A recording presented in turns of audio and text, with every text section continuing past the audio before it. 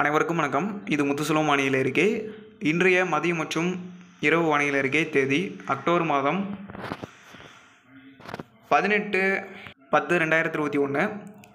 திங்கட்கிழமை சரியாக மதியம் மூன்று மணிக்கு ஆடியோவாக பதிவு செய்து கொண்டிருக்கிறேன். தற்போதைய ஆய்வு முடிவின்படி வடமேற்கு வங்கக்கடல் மற்றும் ஒடிசாவுடைய தெற்கு கடலோரப் பகுதிகளில் நிலவி வந்த குறைந்த காற்றழுத்த தாழ்வு பகுதி தற்போது ஒடிசாவில் கரையை கடந்திருக்கிறது. மேலும் வரக்கூடிய இருபத்தி நான்கு மணி நேரத்தில் தமிழகத்தில் தென் மாவட்டங்களிலும் மத்திய உள் மாவட்டங்களிலும் டெல்டா மாவட்டங்களிலும் வட தமிழக மாவட்டங்களிலும் தமிழக கடற்கரையோர மாவட்டங்களிலும் பரவலாக மழை என்பதை எதிர்பார்க்கலாம்.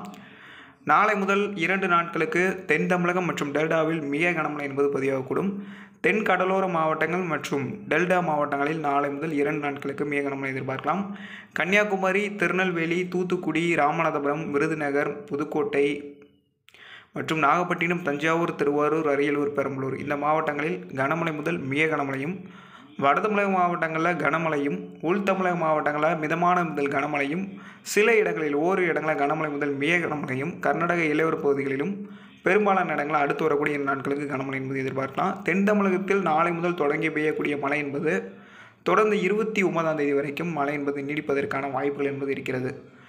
மேலும் அக்டோபர் இருபது இருபத்தி ஒன்று தேதிகளில் மன்னார் வளைகுடா குமரி கடலில் புதிய காற்று சுழற்சி என்பது உருவாகுவது உறுதியாக இருக்கிறது. நன்றி வணக்கம்.